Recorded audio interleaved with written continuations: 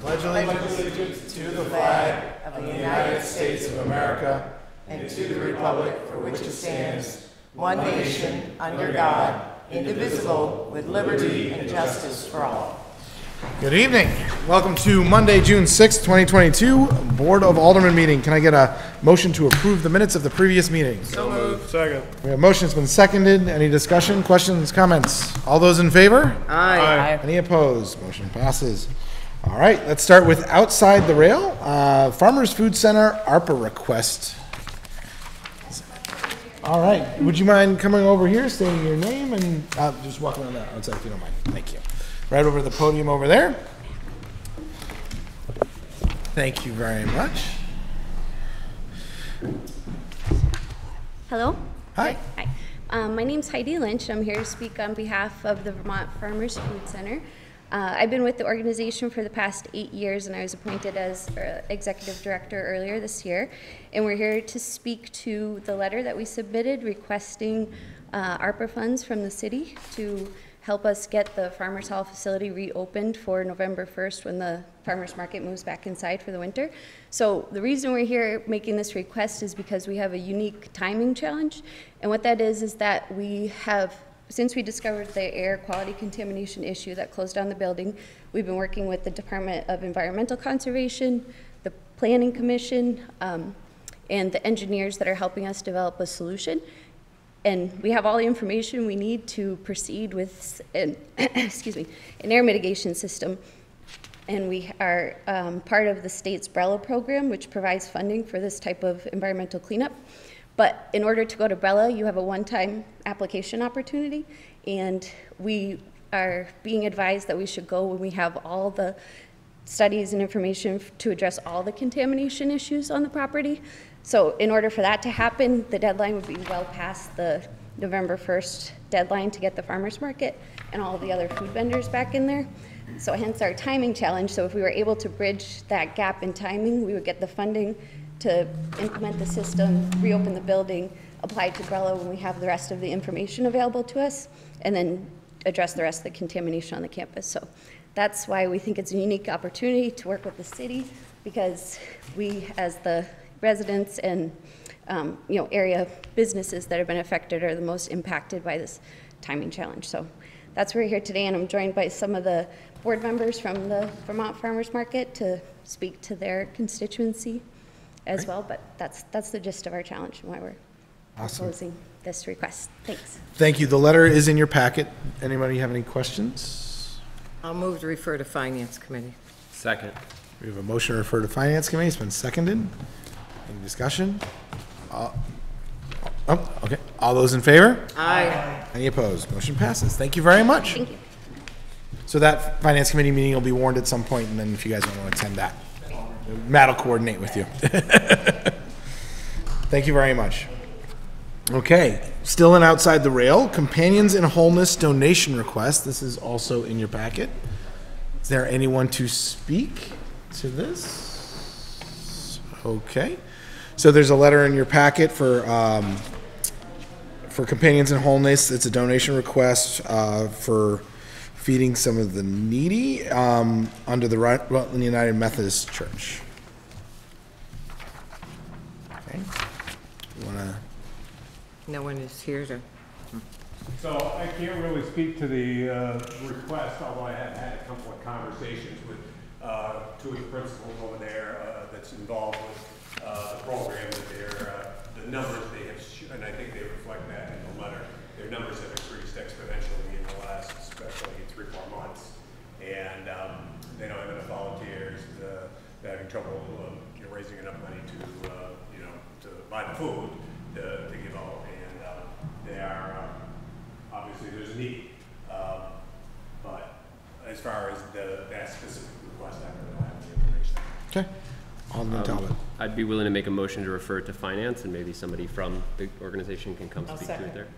Okay. We have a motion to refer to Finance. It's been seconded. Any discussion, questions?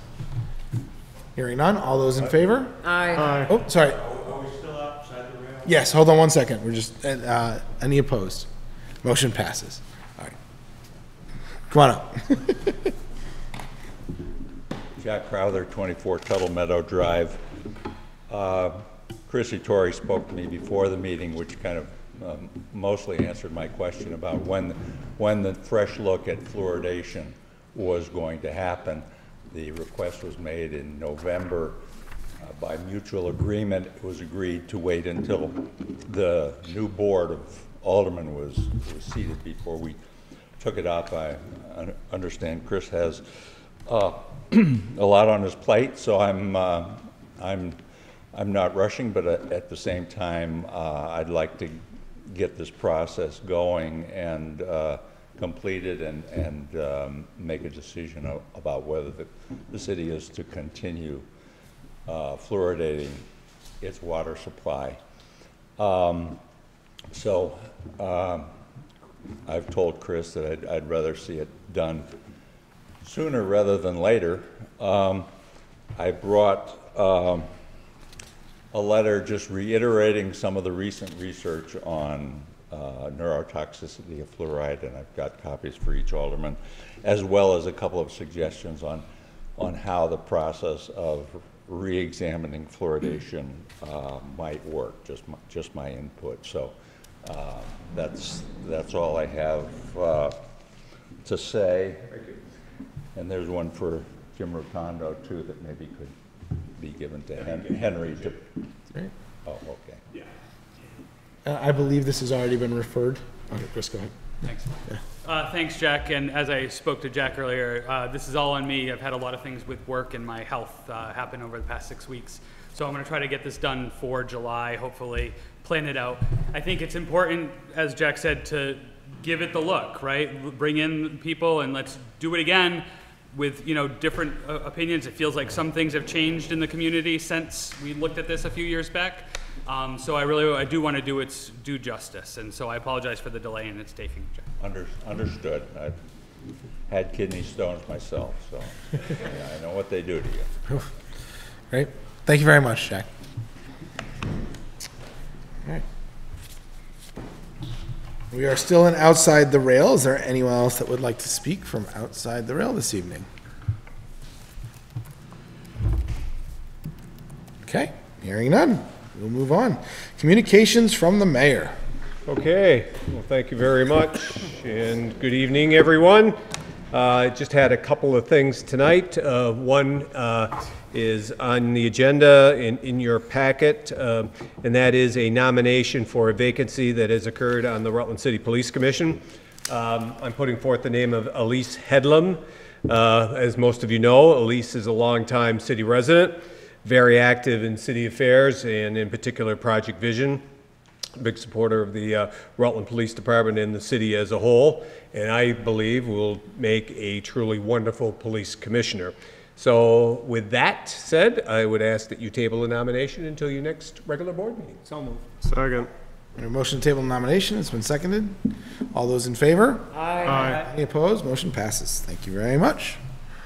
Uh, Second, I wanted to remind everyone that uh, a week from this Wednesday, which is uh, the 15th of the month of June, at 6:30 over in the auditorium at the Rutland Intermediate School, uh, Project Vision, the police department, and myself will be hosting a uh, public meeting uh, regarding the homeless program down at the hotels. And uh, the one, two in particular that we're going to zoom in on, although there are uh, homeless folks, um, the program has, is in other hotels around the area, but we want to concentrate on uh, the two problem areas, and those are the Quality Inn here in the city and the Cortina Inn in Rutland Town. So I just want to remind people at home, this is a public meeting. You're more than welcome to come. As a matter of fact, I'm encouraging people to come, as I think this is an opportunity to um, have a discussion with the state, to have the state hear clearly what our concerns are, not just from city governments, but from the um, neighbors and, and the public as a whole. Uh, We do have a moderator. Uh, We're going to hopefully allow people to have their say that night, and um, hopefully we can um, get our message across about uh, what a concern that is uh, that we're having down here for a lot of different reasons. Um, As I do every month, I did have a meeting with a small contingent of folks. Um, This last Friday, up here in my office, uh, there was a representative from the Department of Economic Services, as well as the um, Executive Director of Lit. Um, And there, there was actually a, a- a- a- a representative from the Methodist Church who came and attended the meeting.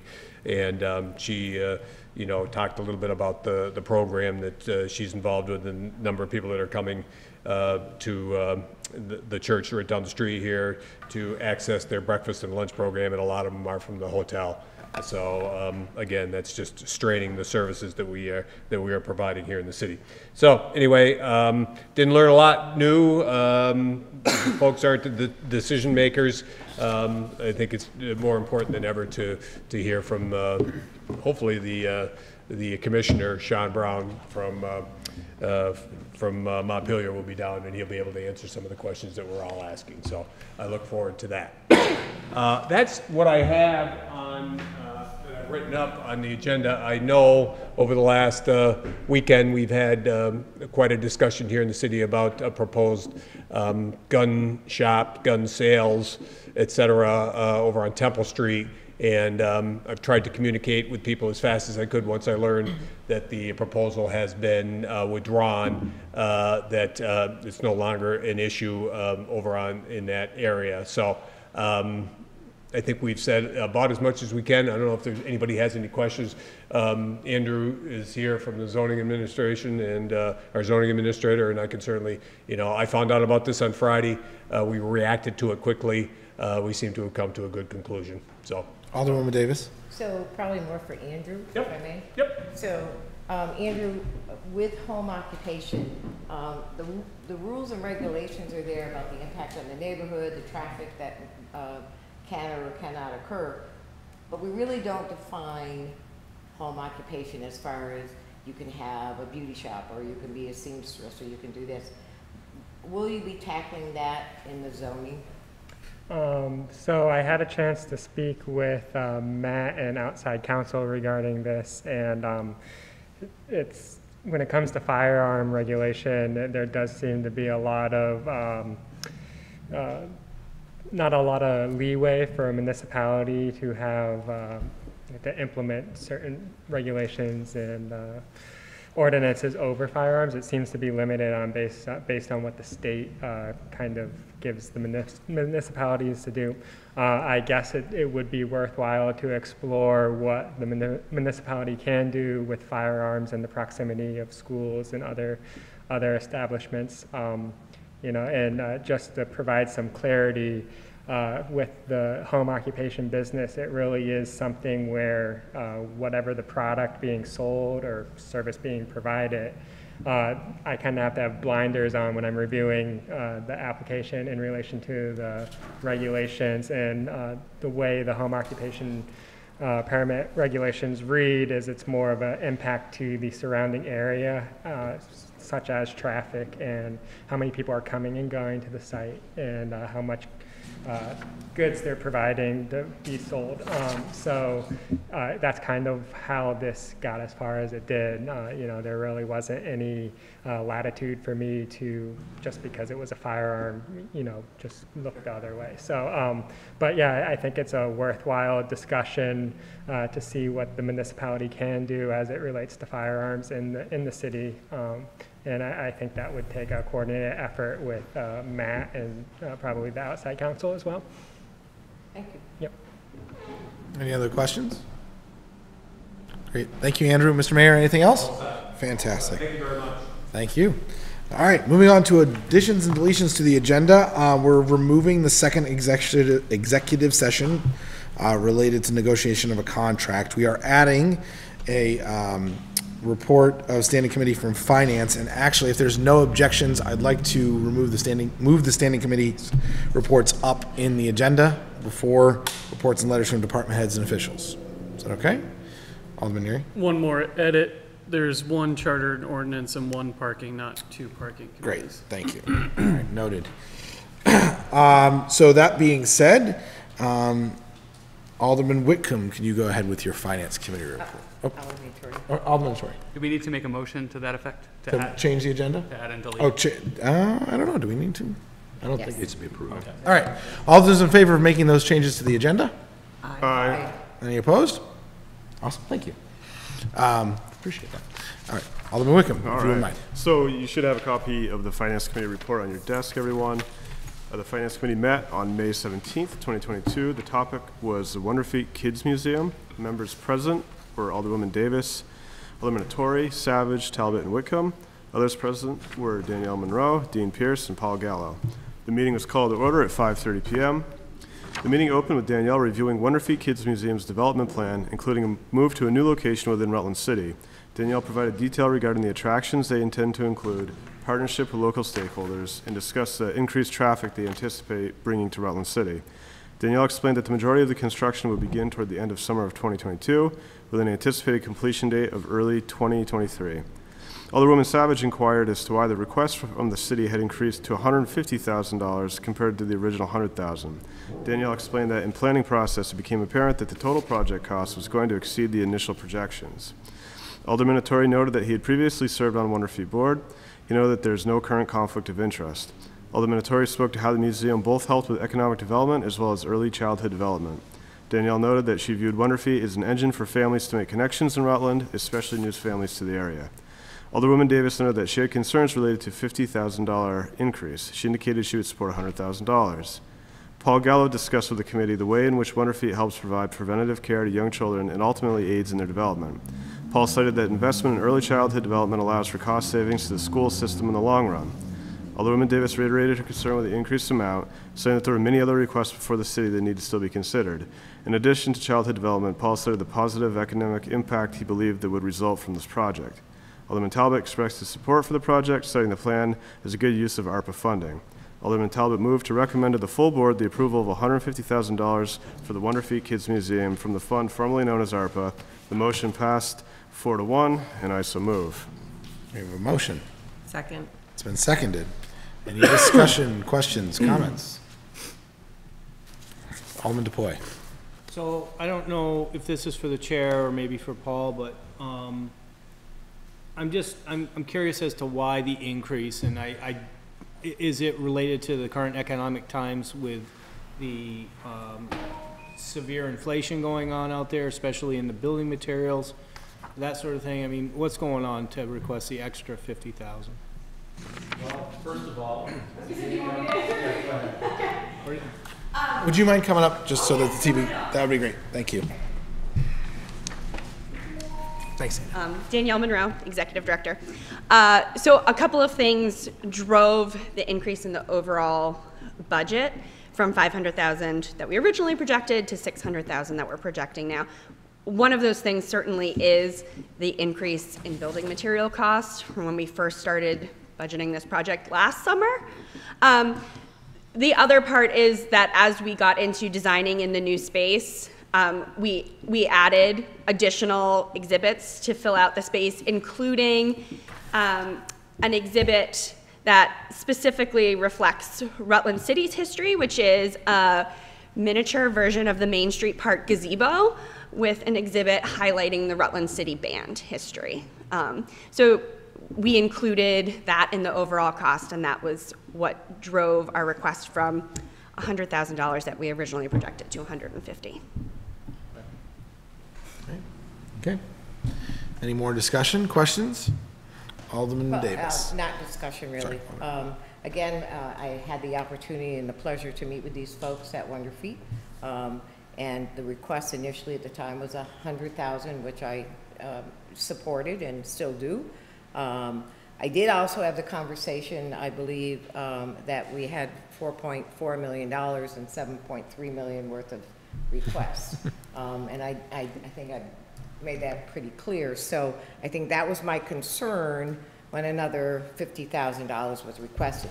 I think it's wonderful to do the gazebo and do the history, but I also know, I I also have a responsibility on this side to look at the projects that are still pending, some that will directly affect the taxpayer's pocket, and try to hold on to some money for them.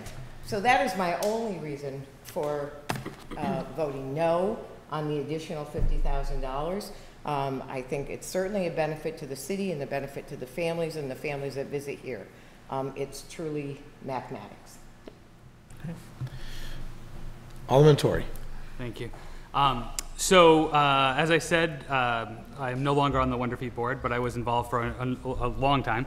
Um, the uh, 150 that came to us really formally, the 100 I think was more of the kind of informal conversations that we were having, and I think a number of us had um, saw the potential in the new new facility and thought there was an opportunity that we could really invest more in it.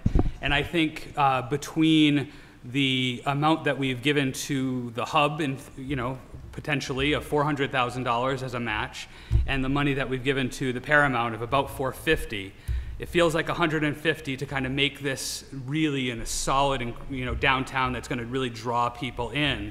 Um, i think it's a worthwhile uh, use of the money. One of my measures has been since um, uh, what we used to talk about with the is that if this was the last 50,000, would you give it to this project? And if this is the last 50,000 of ARPA money, this is absolutely the project we should give it to because it hits on both on a number of different fronts. It hits on economic development in terms of drawing people down from Killington. It hits on our um, children and our uh, early childhood ed and helping our kids grow up into you know good members of society. And moreover, it helps develop a community. One of the things that we found over the years was how families would start to learn and meet each other and know each other. Um, Danielle has a program, It Takes a Village, and it's really about building community. It is one of the few places uh, in replacement of some of the clubs that used to exist where families can create community. So it is absolutely a worthwhile use of the 50,000. Perhaps they should have more, but I think they would probably settle on 150. So thank you.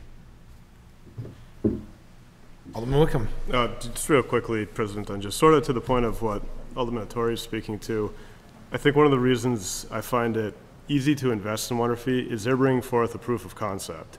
They've done this, they've been successful. They've sort of demonstrated that there's this extensive halo reach in which people will come from a certain distance to come into Rutland City. You know, with, with the expansion, you would hope that that number would then create, uh, kind of increase exponentially, that would drive more traffic into the city. They would come here, visit Wonder Feet, spend money in other local businesses. I, I think they have one of the better business models that we've seen in the FAD come before us. Alderman Taddeo. I just also want to note um, the savings that are provided for the school system in the long run because investing in our children now means that taxpayers aren't having to invest later on. So I think it's really a wise use of our money. Any, Alderman I DePoy? One last question. Um, I, so, given that we're gonna be talking a little bit later about, um, the parking deck and the pass-through and everything, what, what is the pass-through to access from the parking deck for where you guys are? And, and is there any In our, in our current proposal- location or in the, In, in the new, in the new location? Is there anything to get people from the parking deck straight in to your facility or close to So it? they're, they won't be able to access directly into Wonder Feet. They would either use the West Street Tower exit or come through the Asa Bloomer building exit and, and onto Merchants Row that way. So, so that, I mean, that's where some traffic does come through the Asa Bloomer, and you're not that far.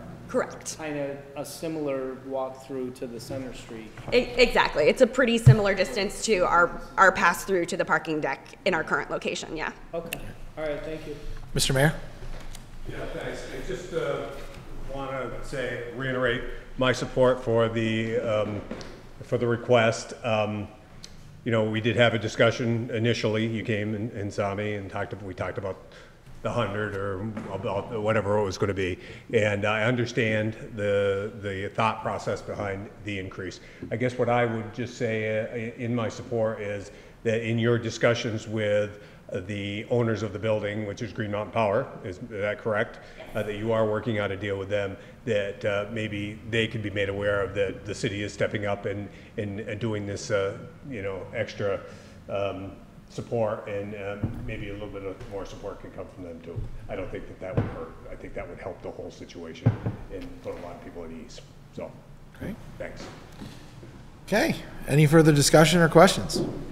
Hearing and seeing none, all those in favor of the motion? Aye. Any opposed? No. One, no, all the rest ayes. Motion passes. Thank you very much. Thank you very much. Feel free to go move to up front. Okay, moving on. Alderman Neary, your pick, parking or charter and ordinance? We'll do parking first.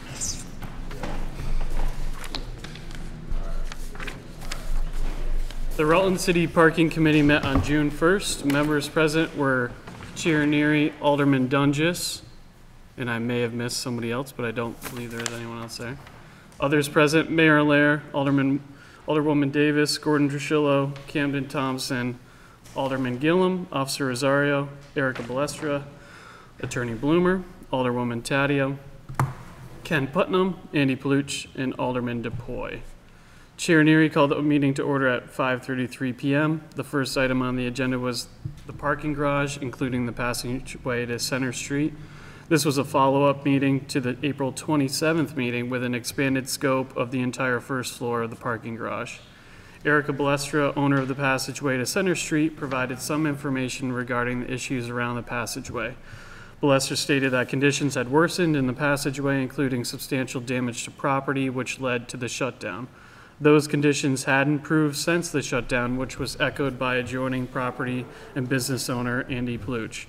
Camden Thompson from Building, Vermont Buildings and General Services provided some information from the state perspective, including what the current contract with the city allows and disallows. Attorney Bloomer suggested that Officer Rosario and Asa Bloomer Building Security could partner to make routine rounds of the first floor transit area and add security cameras of the area with monitors at the Bloomer Building Security Desk. Thompson informed the committee that it may be possible and would follow up with his superiors on the idea. Contract negotiations between the state and city will continue with some changes expected. Chair Neary asked Thompson about facilities plans and if there were any scheduled. Thompson was not aware of any scheduled, but would look into it and follow up. It was suggested that an in-person safety audit be conducted of the area to develop a plan of action. Mayor Allaire agreed to meet with BGS personnel during this site inspection. The passageway will remain closed indefinitely until enhanced security measures are installed. There are no motions made out by the committee and the meeting minutes are presented for informational purposes only. Meeting adjourned at 6:17 PM.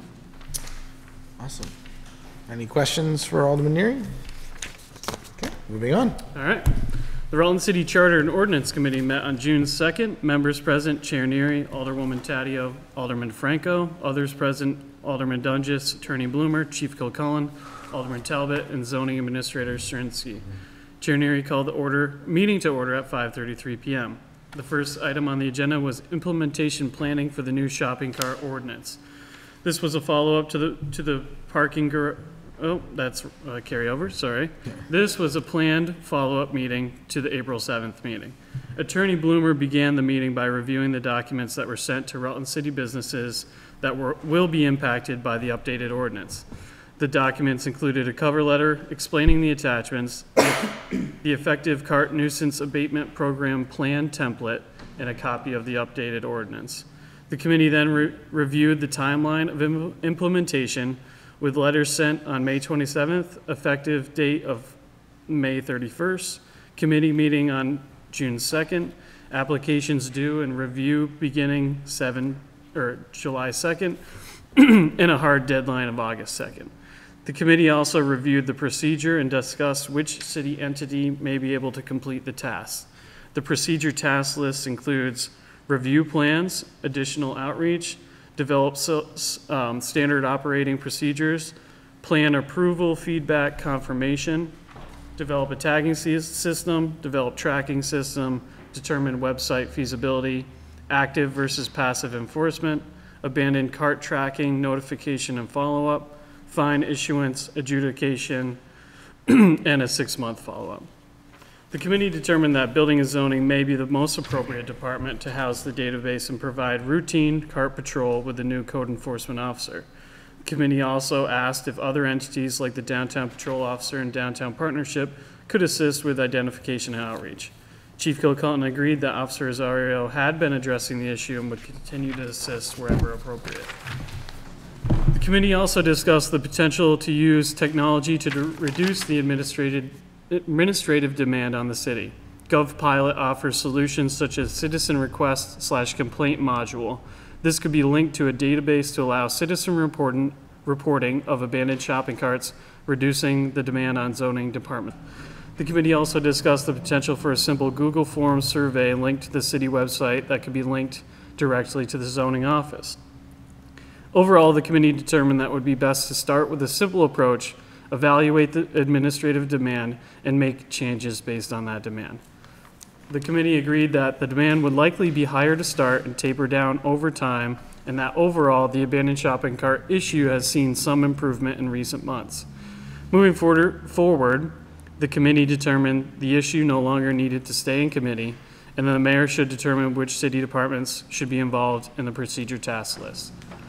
The committee voted unanimously on a motion to direct the mayor to assign the task list to the appropriate city departments. And I so move. Second. A motion, it's been seconded. Any discussion, questions? Comments? Okay, hearing none. All those in favor? Aye. Any opposed? Motion passes. Meeting adjourned at 6:04. Thank you very much, Alderman Neary. Okay, we're done with reports of standing committees. Moving on to reports and letters from department heads and officials. Uh, Building and zoning administrator, uh, Andrew Strniste, disposition of city-owned property, pages one through seven in your packet. So uh, I'll start with 202 Columbian Ave. I believe there's some more materials that we want to get to the board before moving forward. Uh, I'll defer to um, Attorney Bloomer uh, with maybe an overview about those. Yeah, I can give a quick, uh, quick background. So the executive session that we removed tonight was also in relation to um, the, the sale of 200 and 202 Columbian to the Housing Trust. Um, And Andrew's committee, the city-owned property committee, had a meeting uh, last week that he was going to report out on. Um, And technically, I think the board could take action on this tonight without the materials that I was going to provide for the uh, executive session, but I made the mistake today, my mind was a little bit elsewhere. Um, And I uh, let uh, Mary Cohen know that she, that she wouldn't be needed tonight for my part, but I forgot that there was another part for, um, for Andrew. So uh, um, I just wouldn't want to have this come up and her not have an opportunity to, um, you know, answer questions or provide additional information. So I was just hoping that the board would table um, uh, both the memorandum for 202 Columbian and the memorandum um, that's an update as to their uh, proposed project for 200 Columbian Avenue um, until the next meeting, and then I'll have the, um, the materials ready for the negotiation of the option agreement that they're looking for as well. So I think it would be better to do them all together, and then that way um, Mary will be here too to answer any questions that anyone has. Okay. Did you want to add anything, Andrew? Uh, Not at this time unless the board has questions for me. So- So do we need to table those? So moved. Yeah, you could either remove it, we Second. could put it back on, or a table would be, would keep a Ta- bookmark in I'll it. table. A motion to table has been seconded. All those in favor? Aye. Any opposed? Motion passes. Awesome. Moving on to the next item, Andrew, non-tax revenue review, pages, You still still have have, uh, uh, Summer 33 Street. Summer. sorry, There is two. Uh, there's two in the same disposition. I apologize. so- Continue. Yep.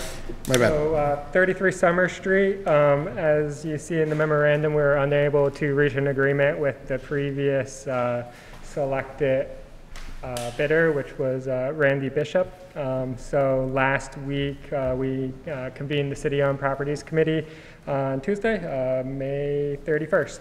Um, So basically, in order to get where we got, uh, we went to the next highest bidder, which was YNR One Opportunity Fund, I believe is their name. Yep. And so um, Matt did a good job uh, coordinating with them and uh, seeing if they were willing to um, up their offer to what Randy originally bid, which was around 62, or was $62,363.88. Uh, So the bank came up, uh, which makes it a little bit um, easier uh, going forward. So um, the City-Owned Properties Committee had discussed it, and uh, voted unanimously to uh, award the, the property to YNR uh, I Opportunity Fund with me recusing. Any questions? Alderman Ettori, go I have a question. I was waiting for a motion. Um, I'm not going to motion that. so. I move to suspend the rules. Okay, we have a motion to suspend the rules. It's been seconded. All those in favor? Aye. Okay. So I'll move the motion, if I may, Mr. Chairman, to authorize the sale of 33 Summer Street to YNRI Opportunity Fund for the pur- purchase price of $62,363 and 88 cents pursuant to Section 6.2 of the Rutland City Charter, and to further authorize the mayor to sign all purchase and sales-related documents. Second. We have a motion. It has been seconded. Any discussion? Alderman Ettori. Thank you. Um, so uh, when I saw this, um, I um, looked. I think I was looking at trying to find the minutes from the city-owned properties meeting, and then when it said the uh, Summer Street pro- or the uh, Spruce Street property, was that what it was? Summer Summer Street. No, no, the one that the other one, South Street. Um, I went back and looked at your minutes. I was not on this board during the time where it was approved to, to give uh, South Street to this organiza- this group. Um, and then somewhere, at one of those minutes, I saw that it's, this is, uh, I mean, as it says, a fund of a bank. Um, am I correct in that? I believe so. Matt, maybe you have a better uh, idea of how they're set up. I not only through, I guess, I only know through you telling me that they were related to the, the banks that had the, Yeah. the note, but I don't know what the relation is or how they treat this entity. Um, I guess they're calling it YNR Opportunity Fund. They have a property management company, um, that came through and did, did the walkthrough recently. I think it's River Valley. Um, Yeah. But I don't know much about the entity or how they're, and I don't know which bank they're related to either. I don't know if you remember that, Andrew, or. No, and it's entirely possible that uh, someone told me, uh, you know, they represent the bank, and I just glommed onto that. But Okay. um, at, at the very least, uh, you know, So if I can continue, so um, when um, this started, one of the things that we wanted to do, the city-owned properties process, one of the things that was we wanted to do was make sure that the properties that we came into control of went back into the community, into the neighborhoods in a way that we wanted to see them. We made opportunities for the RRA to either take a property and develop it the way they saw fit, um, or go out to bid in those, some of those early studies of 2013 and 2015, or 2019, part of the problem was uh, uh, property owners who did not live in town. Um, and uh, I understand that you have some, that the committee had some advice from the city attorney of um, that you must take the highest bid um, over anything else.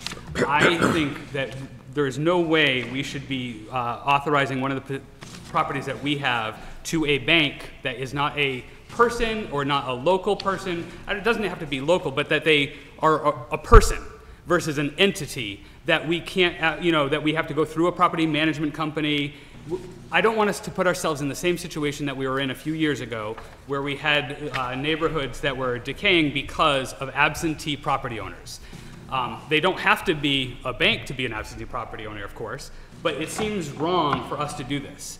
And so I think we should, if the process needs to be that we only give it, we only sell these properties to people who live in with 50 miles or 100 miles or whatever that is, I can't, I cannot in good conscience authorize a sale to an opportunity fund um, when we don't really know who they are or what they're about. Okay. Alderwoman I just have a question to Alderman Ettori's point. So it says other notes also owns a hundred South Street in Rutland. Have they owned that for a period of time? Is it a a recent purchase? And what is this, what's the condition of that property under this entity?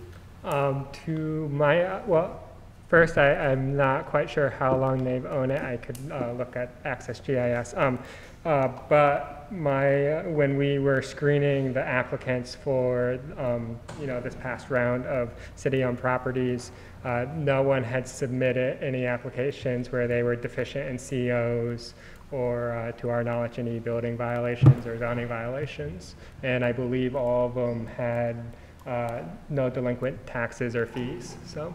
um, So, Andrew, do you know if they rehab and sell?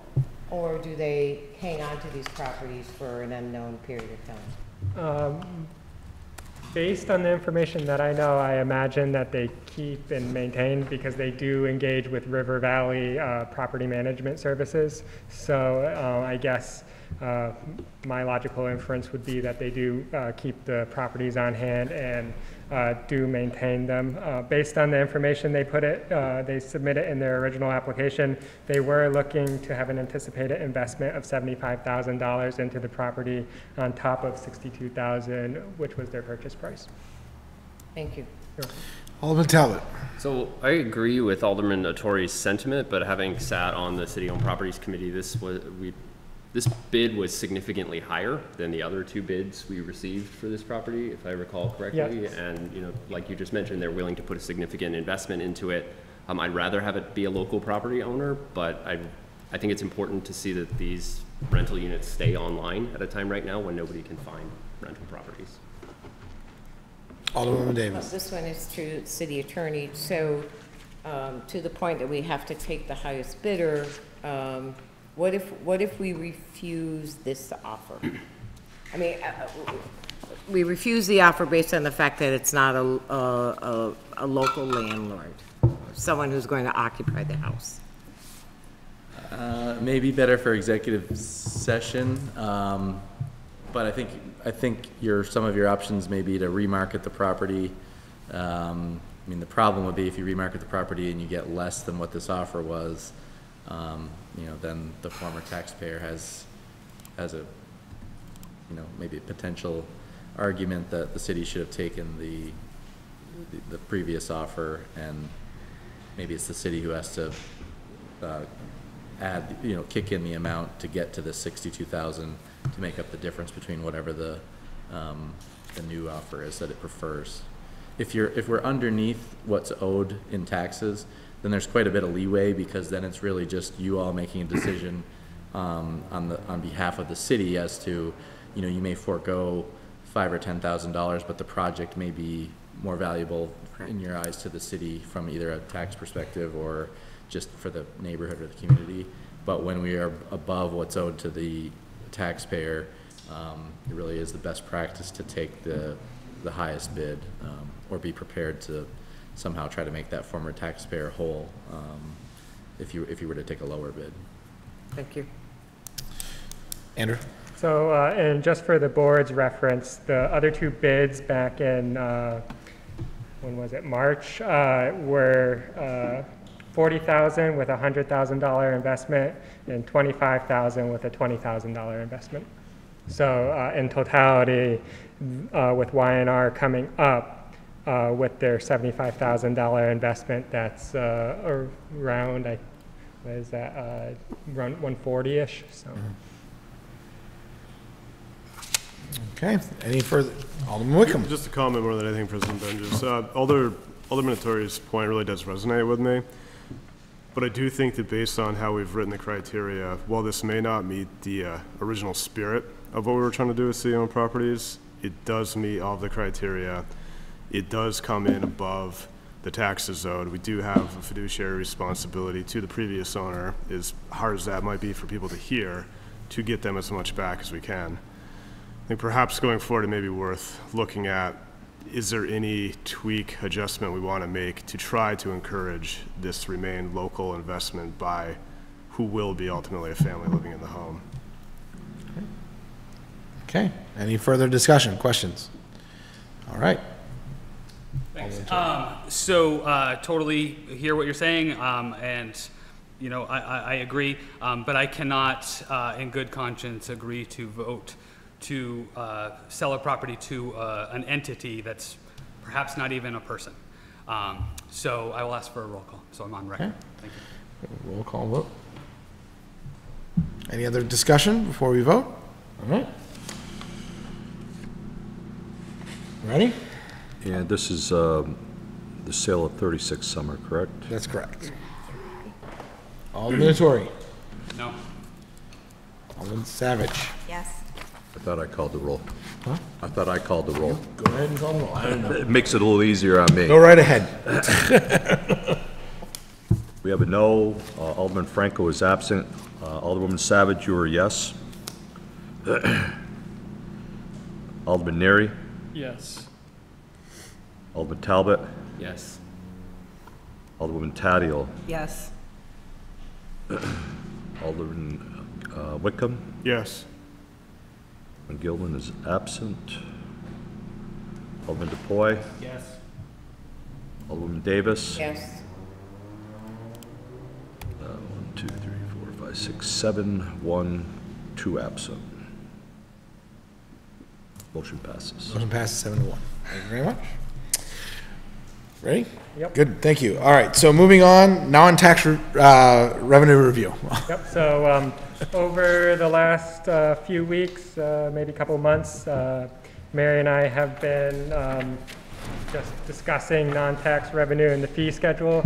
I'm going to use, um, you know, the Building and Zoning Department for context in regards to uh, examples, just since I'm the most familiar with that. Um, So I think uh, the, the city should uh, maybe review their, uh, their fee schedule, the non-tax revenue, uh, because at least with uh, my department, uh, I think we're missing out on potential opportunities to raise more revenue. For zoning permits uh, alone, um, we process probably around 115 a year, and the only fee that's charged is a $15 recording fee, so that fee actually uh, is transmitted to the clerk's office. So more or less, uh, there's no fee in regards to the time that I spend on zoning permit applications. Uh, The building department um, is uh, hammered with uh, certificate of occupancy visits. Uh, They do, uh, it seems like they are going to average about 2,000 permits a year just in certificates of occupancy. Uh, We charge no fee for them, so uh, it's pretty much running around the city and, uh, you know, getting nothing in return. Oftentimes, people will cancel on, uh, cancel on us on site a little bit beforehand. So we're going out there multiple times, and um, it's more or less wasted time. Um, Other times, uh, they will tell our office coordinator that they have upgraded everything they needed to in the past certificates of occupancy, and they go there, and there has been nothing done to the property. So, um, you know, I, I think we have an opportunity here to um, perhaps either have a small uh, processing fee of five, ten dollars for these certificates of occupancy, and that alone can raise, you know, a decent amount of money depending on how many they're doing in a year. Um, and then, you know, if we have a penalty fee for if they're telling us one thing and we go out there and it's not done, you know, maybe it's a twenty-five dollar fee, or um, you know, maybe uh, maybe even larger. So uh, those are kind of the issues that um, you know our department would like to look at. Um, we charge uh, nothing for paper, um, and we do get a lot of requests for copies of listers cards and the like. So um, tying this kind of to my next uh, proposal, I think this could be a potential opportunity to offset some costs and generate more. And, you know, that's just in the building and zoning department. Um, I know there's probably a lot of opportunities elsewhere within the city that we can potentially uh, look at and get more money. And I'm sure uh, Mary could attest to some of that too. Alderman Talbot. So I'll make a motion to refer a review of the city's non-tax revenue sources and fee schedule to the finance committee. Why not? I, I was just thinking it could also be chartered ordinance because the fees, the uh, certificate of occupancy lie within an ordinance uh, as well. So it doesn't really matter. We're pretty busy. I think there's like, aren't there like four charter and ordinance meetings coming up? I don't know, yeah, there's a lot in, there's a lot in finance too. In a discussion. It doesn't matter. I mean, it's, it's one, one half or the other half. In a discussion with Mary, you know, uh, we understood the workload of all the committees, and given the, uh, the broad scope of this request, uh, one of the other logical places we were thinking were- was maybe the general committee, so uh, I don't know what the board thinks about Do that. that. So currently, we have a motion to refer to finance. There's no second. Second. No Second, motion, okay. We have a Oh, on the draw there. motion to refer to finance. It's been seconded. Is there any discussion about the referral? Okay. Hearing none. All those in favor? Aye. Any opposed? Motion passes. It's going to finance. There you go. Sorry. All right, thank you. All right, moving on uh, to the next item on the list. uh, Administrator Strniste, permitting software RFP, pages nine and 10 in your packet. So, um, as you may recall from the previous budget season, I was uh, allocating approximately $9,000 for a new permitting software program. Um, And doing countless hours of research, I had landed on one that I thought would be good. I did a lot of discussion with them. Uh, We were hoping to um, do our certificates of occupancy within this software. Um, And given that I didn't know how much money I could potentially have, and uh, since we weren't really contracted with them yet, we could only go so far down the rabbit hole before uh, we really started looking at implementation. Uh, Having a discussion with them, uh, it doesn't, as we were getting closer to the fiscal year and knowing what I had, uh, it doesn't look like it's really practical to do the certificates of occupancy. There would be a huge efficiency lapse when we really started exploring it. Uh, With that in mind, um, I, I asked them what would the next couple tiers look like, and they had given me approximately twenty to twenty-five thousand dollars for that tier. Uh, given the increase, uh, if the board does allow me to go out to an RFP, uh, with an increased amount, it does open up the idea to reach out to other software, uh, permitting companies. Uh, one which I, am sure everyone has heard come from my mouth is GovPilot. Um, this is a um, could potentially be a, a citywide permitting uh, and government uh, software system. Um, for $25,000 or a little bit less, maybe 22, um, you could potentially get permitting software, and as um, Devin mentioned in his report today, uh, you could get a report, uh, report of concern uh, module, which would allow us to track the shopping carts very, very easily, as well as, um, you know, uh, do other types of concerns in the community. So uh, one of the things, having served on the chair committee, uh, the ADA-related issues could be pointed out using this same software. Uh, if, uh, you know, sidewalks damage, potholes in the street, all this could be tagged easily in the same module that we would theoretically use for the shopping carts. So um, with that, um, I would respectfully ask if I could go out for an RFP uh, for $25,000, and it would allow me to explore other uh, permitting software uh, companies in the event that uh, you don't, I would ask for the original amount in- of $9,000. Motion to suspend the rules? Second. We have A motion to suspend the rules has been seconded. All those in favor? Aye. Any opposed? Motion passes. Alderman Neary. All right. Motion to authorize building and zoning to solicit requests for proposals for permitting software not to exceed twenty-five thousand with the understanding that the full amount may not Uh, Be awarded. be awarded. Second. Okay, we have a motion. It's been seconded. Any discussion? Alderwoman Davis. Question, what was in the initial, what was the dollar amount in the initial budget that was requested for the software? It was $9,000. $9,000. Yep, so. And, and where do we anticipate the difference may come from? So um, it's possible with, uh, you know, if the, if we can arrive at a fee schedule, uh, you know, I think that could help offset some of the costs. Uh, What is good about these software permitting programs is uh, you can put the fee up front. So if they're looking to schedule a certificate of occupancy, they pay a $5 fee up front uh, before they even get to scheduling. Um, So uh, that's a potential place. Uh, we're lagging a little bit behind in terms of getting our code enforcement officer, so there's potential um, savings there um, within our budget that we could uh, uh, account for the uh, difference. Okay, thanks. Okay, any questions? Discussion? Okay, hearing and seeing none. All those in favor? Aye. Any opposed? Motion passes. Good luck with your RFP. Thank you for coming. Thank you very much. All right, moving on. Attorney Bloomer, referral, HR Committee, Fire Officer Personnel Policies and Pay Scale, pages 11 and 12 in your packet. Attorney Bloomer. Uh, Thank you, Mr. Chair. So I did provide a um, somewhat uh, detailed memorandum, just asking for a referral to the HR committee um, to review some revisions to the fire officer personnel policies that we're suggesting, um, as well as an approval of uh, the fire officer pay scale uh, going forward.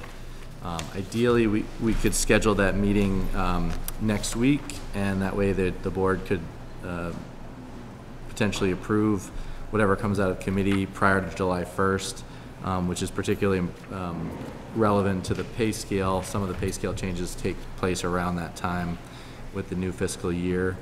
Um, The personnel policies are not, not, doesn't really matter when those go into, into effect, but sooner is better than, than later, just so people have clarification um, as to what, what changes are being made. So really just looking for a referral tonight, but happy to answer um, any questions about what these personnel policies are. I tried to give a little bit of the history um, of how, of how we ended up with person, separate personnel policies for the fire officers. Okay. Chairman, I'll move. Alderwoman to- Davis. I'll move to refer the topic of revision of fire officer personnel policies, approval of fire officer pay scale to the Human Resource Committee. Second. Motion's been seconded. Any discussion, questions? Okay, hearing none. All those in favor? Aye. Any opposed? Motion passes. Okay, great. Next item on the agenda, uh, Attorney Bloomer's settlement and release request, pages 13 and 14. Thank you. Um, So this is uh, a minor um, incident that occurred where a contractor, um, not employed by the city, but a contractor for an outside outfit, uh, caused some damage to Route 7. Um, And so the insurance company, their insurance company is um, uh, responsible for the damage, and they've agreed that damage occurred. I think they may have been willing to mill and repave the area, but because that area is scheduled to be completely redone in 2025, Commissioner Rotundo felt that it was, it made more sense to patch the, um, the damage for now and to accept a $5,000 settlement um, instead of having them uh, do the work or pay to do the, the mill and repave work. So I have attached the release that they've asked us to sign. Um, It's, it's a standard release, and after speaking with the uh, department, um, both the commissioner and the business manager, I don't have any concerns about the city releasing, releasing its claims in exchange for the five thousand dollar settlement. Um, So if that's what the board would like to do, I've provided the, um, the language for a motion. Alderman Neary. Where is this on Route 7? Um, that's a good question. Um, I probably have it in my email, but I That's don't, fine. I don't know offhand. I was just curious. Yeah. I One could- seventy-eight North Main. Oh, okay, thank you, Michael. Yeah, it's on, the- it's on the, um, release itself. Which looks to be across from Rotary Park. Okay. I haven't noticed it, so it can't be that bad. Yeah, I'm not sure exactly what caused it either, but, um, some sort of piece of equipment or, or an accident or. Thanks. I will make a motion to authorize the mayor on behalf of the city to enter into the release of all claims in favor of Main Street America Insurance in substantially the form presented. We need a motion to suspend the rules first. Motion if to that's okay. suspend the rules. Okay. We have a motion to suspend the rules, been seconded, thank you. Uh, uh, Any discussion? All those in favor? Aye. Aye. Okay, any opposed? Motion passes. You want to do that again? Now I will make a motion to authorize the mayor on behalf of the city to enter into the release of all claims in favor of Main Street America Insurance in substantially the form presented. Second. We have a motion that's been seconded. Any further discussion, questions, or comments for the city attorney? Okay, hearing none. All those in favor? Aye. Any opposed? Motion passes. Thank you very much. Uh, Okay, and now, moving, we'll move the executive sessions to the end of the meeting. Uh, We've done reports of standing committees. We have no reports of select committees. Uh, Reports of representatives, uh, Alderman Neary, Traffic Committee referral. Sure, um, we've talked about this before, but we're back here again. So at the May twentieth Traffic Safety Committee meeting, it was yet brought to our attention again that there are issues with parking on the green belt. Um, as of right now, the city is spending tens of thousands of dollars to do, add concrete curbing to sort of uh, prohibit the parking on the greenbelt.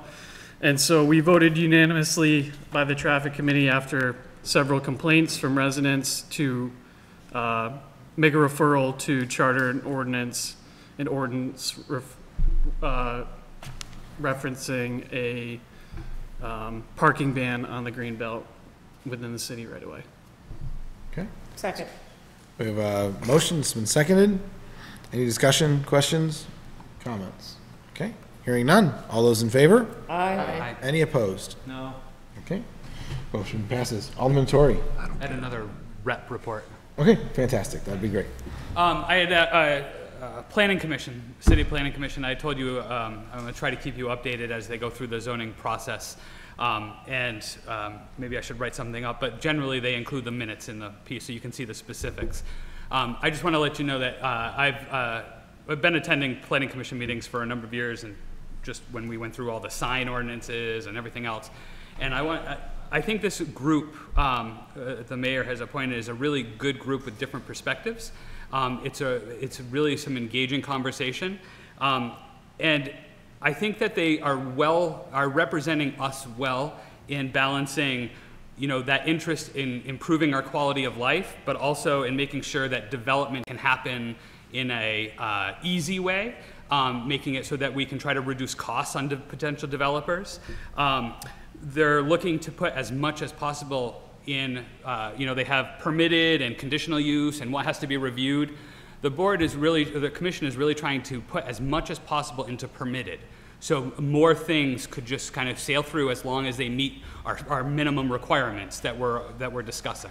Um, so I just wanted to give you the update that I felt like it's a really good group that's balancing the, the pieces of quality of life, but really trying to uh, make sure that development costs are kept down um, by you know not making people jump through unnecessary hoops, you know trying to reduce what goes to DRB or what gets reviewed by the zoning uh, administrator, you know administrative uh, review, um, and really trying to see how can we streamline uh, the permit process. So I just want to kind of give you that update, and I'll try to do that you know monthly as we go on.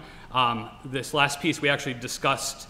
Um, that piece in terms of permitting conditional use, and I forget what's on the agenda for next time, but there was something.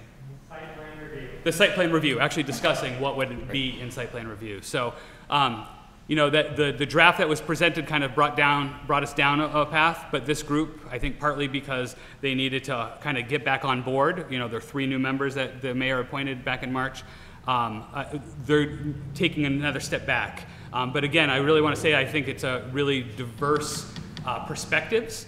Um, and I think it's going to be really good for the city as it comes through. I'll try to keep you updated, but take a look for the minutes as they, as Barbara puts them in that thing. Okay. Thanks. Thank you, Alderman Ettori. Any questions for Alderman Ettori? Okay, fantastic. Uh, Reports of representatives, any, any others? Okay, moving on. Petitions, letters, and miscellaneous communication. We have a uh, special events permit request, coin drop for the Humane Society for both June 18th and July 30th from 10 to 2 p.m. on Merchants Row, and this is pages 14 through 20 in your packet. Motion to suspend the rules. We have a motion to suspend the rules, and it has been seconded. All those in favor? Aye. Okay, any opposed? None. Go ahead.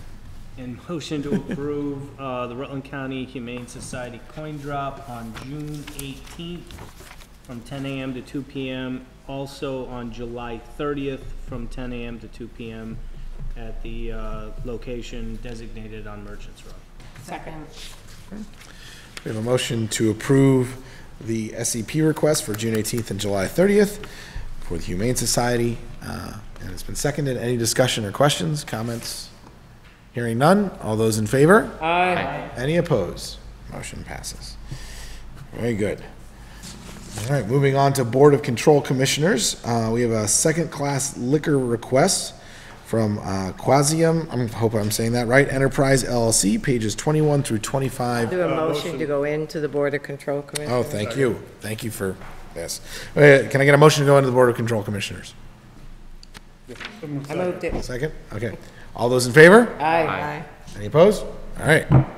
Thank you for the guidance. Okay, second-class liquor request, Qasium Enterprises LLC, pages 21 through 25 in your packet. I'll move to circulate for signature. Motion to circulate for secu- signature, and it's been seconded. All those in favor? Aye. Any opposed? Motion passes. Very good. And we also have a first-class liquor request for American Dream Restaurants LLC, pages 26 through 30 in your packet. I'll also move to circulate for signature. Motion to circulate for signature uh, has been seconded. All those in favor? Aye. Any opposed? Motion passes. I'll move to go out of the Border Control Committee. Okay, we have a motion. We have a motion to exit control commissioners and has been seconded. Uh, Any discussion? All those in favor? Aye. Any opposed? All right. We are now out of the Board of Control Commissioners.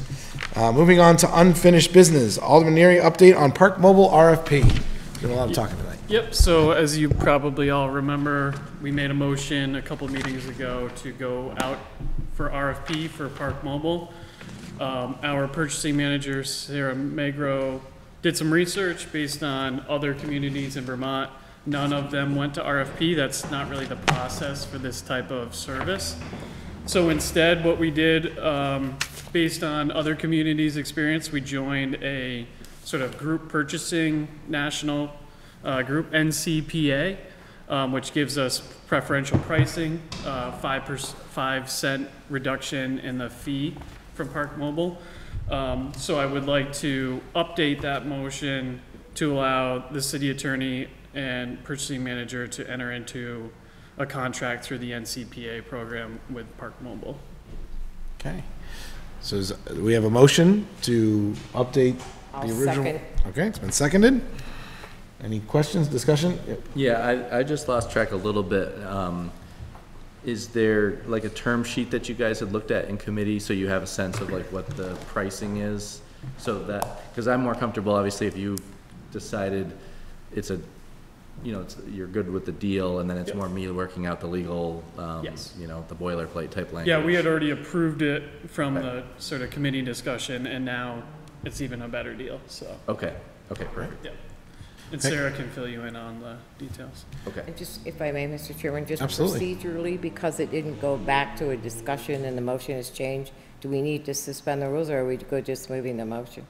Uh, that's a good question. I think because, I think you would suspend the rules if the board, I mean, the board, board could refer the, the topic back to the committee, but given that it's come out of committee and the recommendation was made, um, I think you would suspend the rules, and if you want to take it up tonight, Sure. you, you can pass it. Um, I will make Okay, so- motion to suspend the rules. Motion to suspend the rules has been seconded.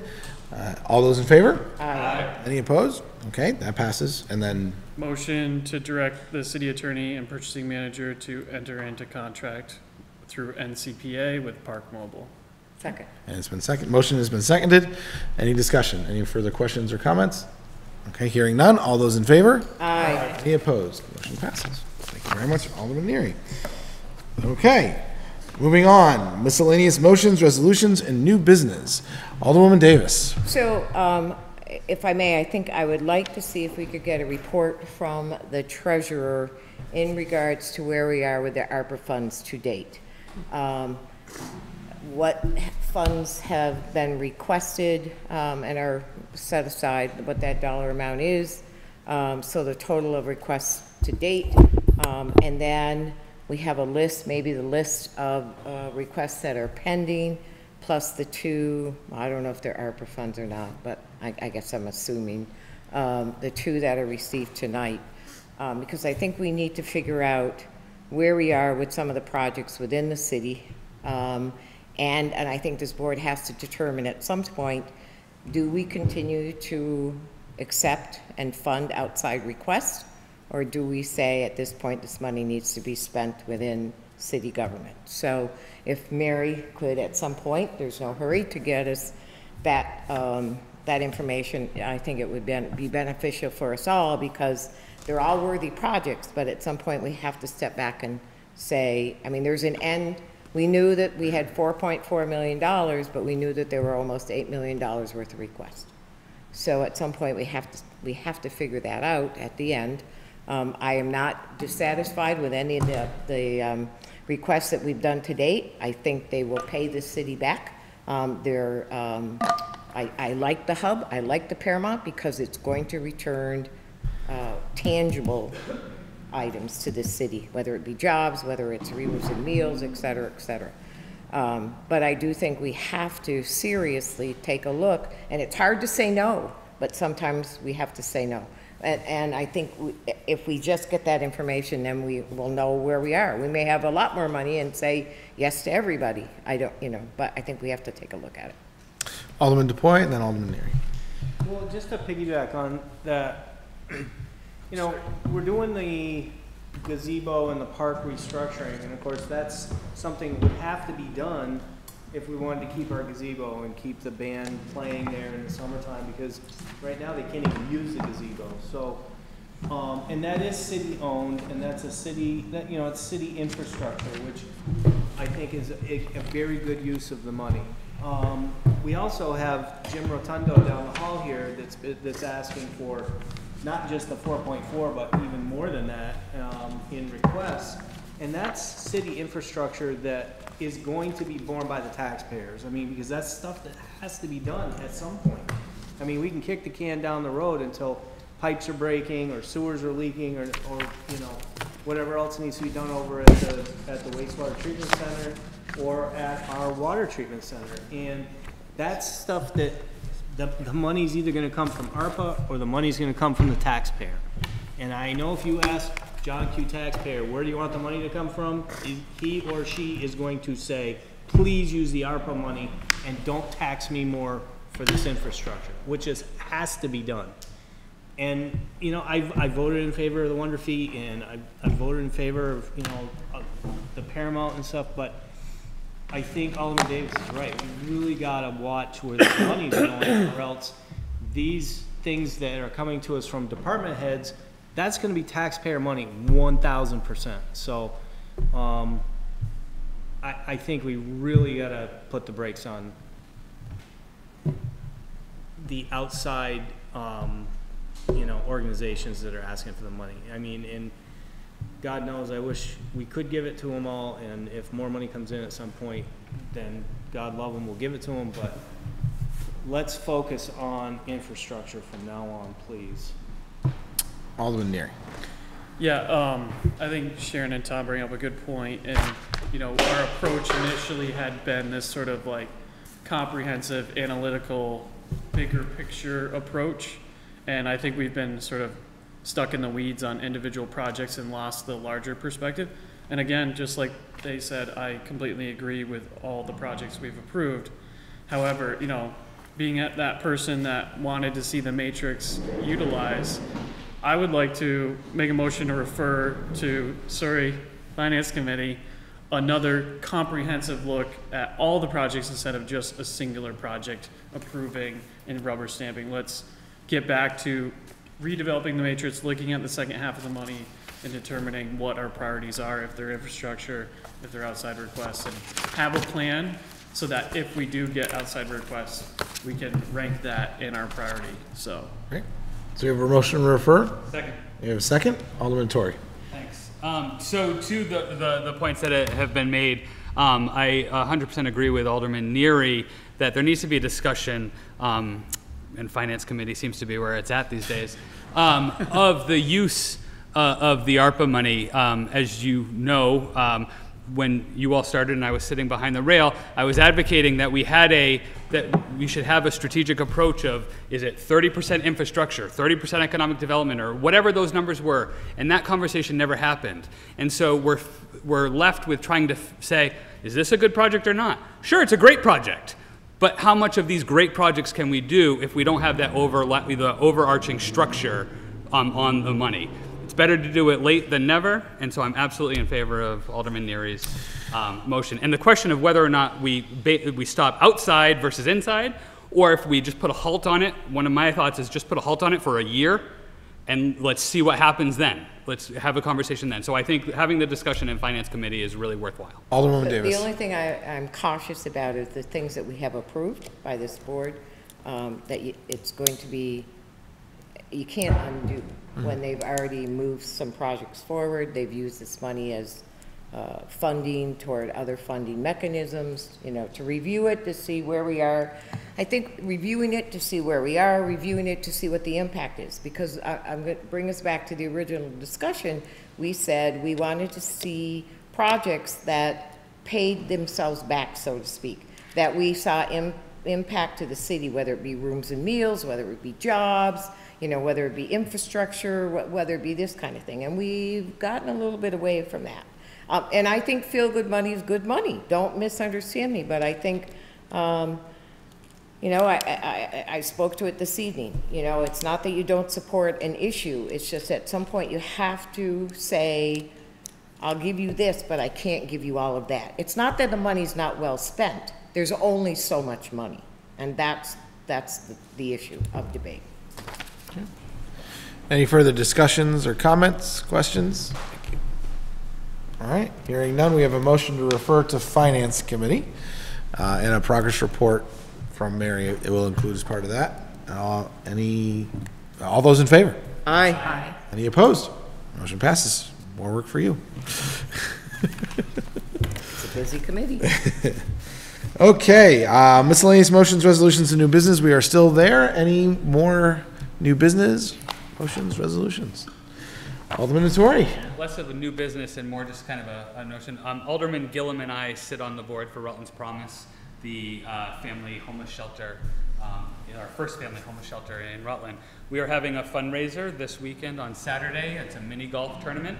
Uh, tickets are twenty-five dollars, but it obviously goes to a good cause. You can buy them directly from me or Alderman Gillum, um, or if you show up at either ten o'clock or eleven o'clock at the mini, mini golf course in Mendon, um, we'll be doing our fundraiser there. So, Great. Thank you. Thank you very much. Big Okay. shout out to Alderman Gillum. I hope he's feeling better, and I hope he can hear me. He texted us that he couldn't hear the boy. Okay. Uh, any, Speaking to the microphone, Mr. President. a- any more miscellaneous motions, uh, resolutions, or new business?